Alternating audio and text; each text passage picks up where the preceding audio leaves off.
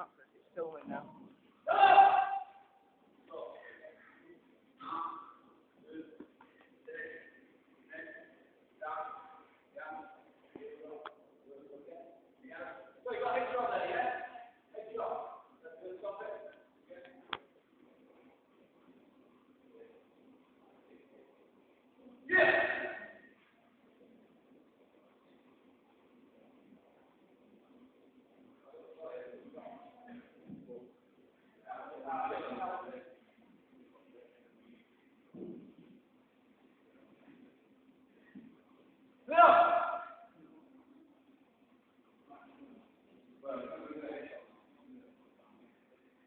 Yeah.